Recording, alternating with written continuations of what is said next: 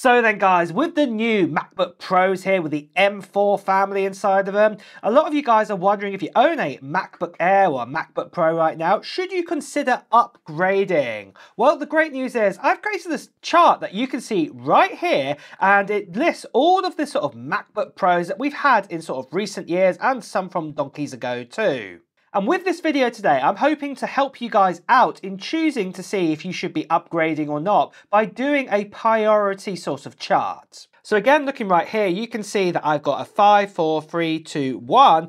And really what it means is if you're a 5, you shouldn't really be considering upgrading anytime soon. And if you're a 1, well, it's top priority to be upgrading and actually consider doing this. Now, a couple of things that I will also just throw in there. Obviously, this is just my own opinion here. You don't have to do this. If you're happy with your MacBook right now, stick with it. But, you know, I'm just giving my own honest opinion here, what I would do, you know, if you came to me and said, should I be upgrading or not? This is what I'm basically put into this chart. The other thing as well is obviously I've not put in here like the Mac Mini, the Mac Studio, or the iMac. You know, I've not done that. I'm literally sticking about MacBooks here. And also, you know, if you've got a Windows machine, yeah, that's just really, really tricky to kind of work out exactly what you need to have because obviously, you know, you're not really the same type of family and things like this. And then obviously we start going to gaming and all of this sort of bits and pieces and other type of creativity. Yeah, so I'm just not going to go there with that today. So we're just going to be sticking with the MacBooks. And first of all, let's get started then with the oldest sort of MacBooks out there.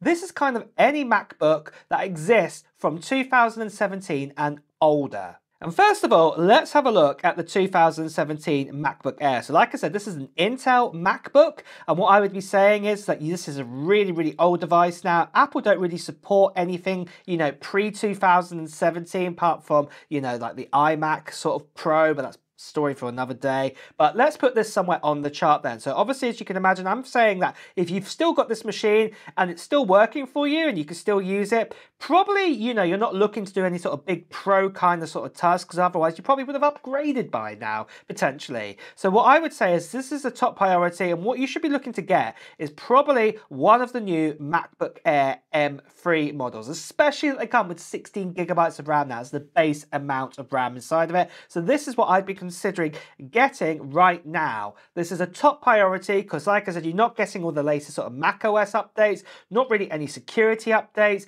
and a lot of software out there will stop supporting, you know, these versions, these older versions of Mac OS. So I'd prioritize in really getting yourself updated as soon as possible. And then over to the actual MacBook Pros, it's the same sort of thing. Personally, I would be saying that it's a top priority again, but really what I'm going to do is I'm going to stick it in the middle here between between the MacBook Air M3 and also the MacBook Pro M4 because there are some really powerful MacBook Pros out there in 2017 and I would say that some of you guys are probably still even using them for Pro Tools but even if you went for the M4 MacBook Pro 14 inch model this is going to be more than enough. Or maybe you've been given a handy down you know sort of MacBook Pro and you're using it just for sort of basic sort of word editing going to university college this sort of thing then obviously you'd be probably more sitting more towards sort of the MacBook Air kind of area with the M3 with 16 gigabytes of RAM. So that's why I'm going to stick it in the middle there. But next of all, let's look at all the Intel MacBooks between say 2017 and 2020. And obviously some of these are still supported today, but I would still be saying that these are a priority to get updated. So starting out with the MacBook Air that we have then, this was the kind of design that we had, I think, introduced in 2018, if I remember.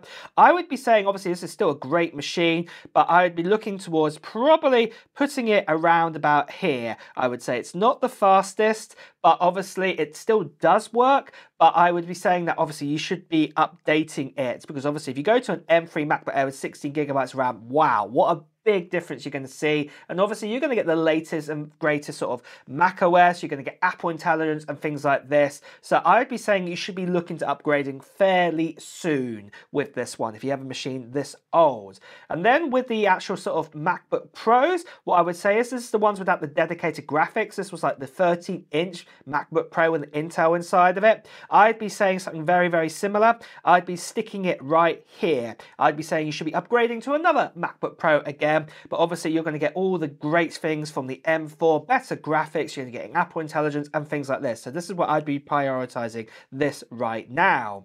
Then I would be saying, and next of all, for say a larger MacBook Pro has a dedicated graphics, it was just the 16 inch models back then. So I would be saying that you do need to upgrade probably very, very soon because obviously these machines ran really, really hot with the dedicated graphics and also with the actual Intel chip, the i7 and the i9 inside of it. So I would be updating and I'd say it depends on your needs really. If you are really doing loads of 8K video editing and things like this, then obviously I'd be saying the M M4 Max is the right one for you. If not, what I'd be saying is it's the M4 Pro. So I'm going to stick it in the middle right here. This is what you should be going for. So it depends on what you're going to be using it for, kind of the Pro kind of abilities.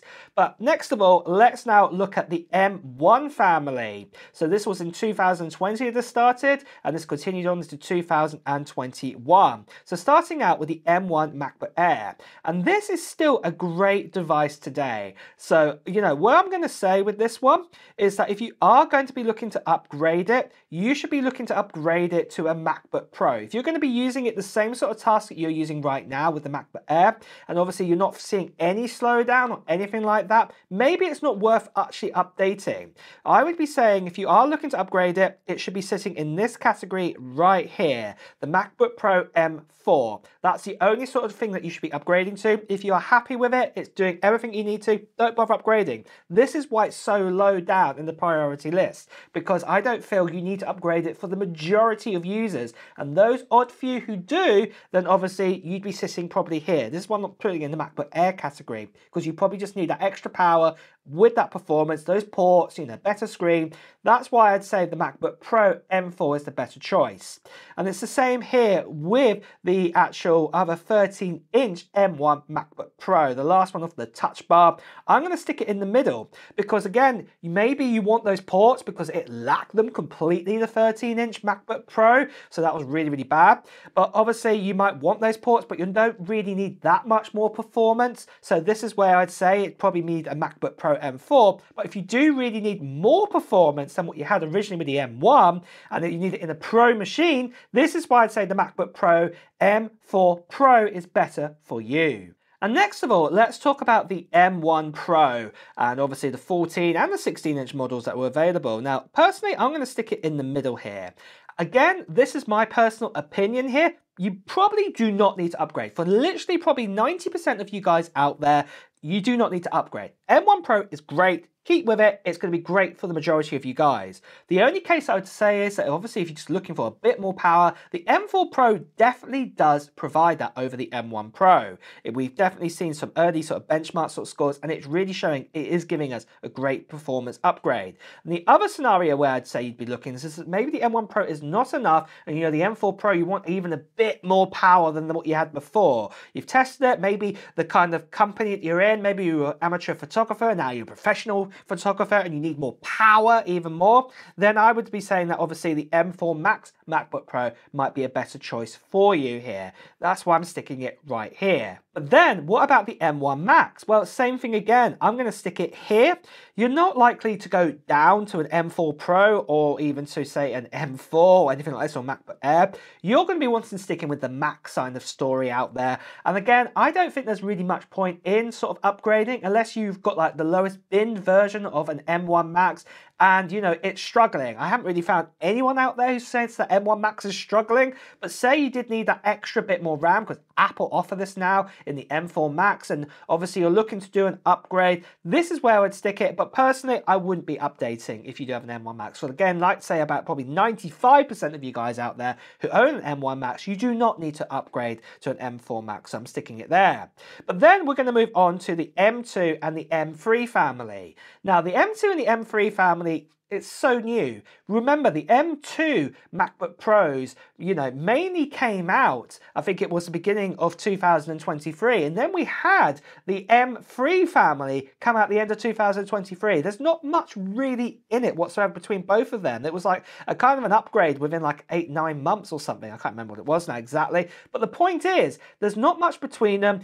And as you can imagine, they're so, so new, you do not need to upgrade them. The only exception I'm going to chuck in there is the the M2 MacBook Air where you might want to, for example, to upgrade and get yourself maybe a MacBook Pro. So I'm going to stick it here uh, in this sort of category here, if I can fit it in there. There we go. It does fit in there in, in the M4 category. This is probably the only one that I would say, but I'm sticking it halfway between the line because, you know, at the end of the day, this is again a very niche people. 95% of people they've got an M2 MacBook Air are going to be absolutely fine. This is for the people who are pushing their M2 MacBook Air too much. Maybe, you know, you need a fan inside of it. Maybe that you need a bit more power for you're doing 8K video editing. Why did you buy a MacBook Air? Do not know why, but you get your idea. This is where I would say maybe you need to push it into this category.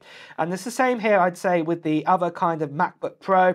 I'm going to stick it here next next to it, I'm going to move that across actually a little bit. Let's move this around a little bit, a bit more organized.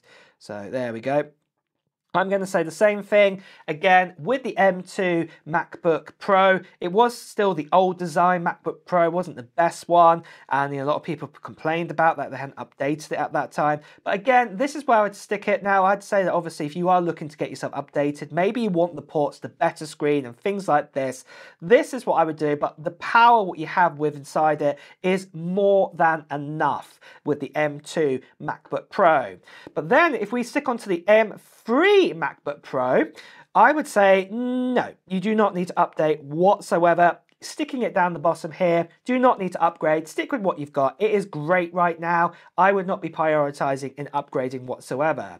And the same here, what this one represents is the M2 Pro and the M 3 Pro MacBook Pro out there. I couldn't be bothered to put two, you know, different images together because really they're both, you know where they're going to sit. They're going to sit here. They're a low priority. M2 Pro and the M3 Pro no, just don't bother. I would not be upgrading whatsoever with this. And the same with the M2 Max and the M3 Max. There's absolutely no point updating these. Again, sticking them right down in the bottom corner here, no point whatsoever. This is where they live. Do not feel like you need to upgrade because really you're not going to get the big benefits out of it. This is where I'd be keeping this chart right now. But really guys, as you've seen from this chart, this is like I said, my own opinions here in upgrading. You don't have to follow this, but this is what I think you guys should be doing in my honest own opinion. But it's up to you. If you're happy with the machine that you have, stick with it. But I do also hope that this chart has also helped quite a lot of you guys out if you're considering upgrading and if you're going to do it now. Let me know though in the comments below if it has helped you out. And with that as well guys, it's time to wrap up this video. So if you have enjoyed watching it, please do press the like button. Also, you want to hear the latest Apple news reviews reviews and too. Make sure you subscribe to this channel and also hit that notification bell. Until next time, guys, I'll see you really soon. Take care. Bye bye.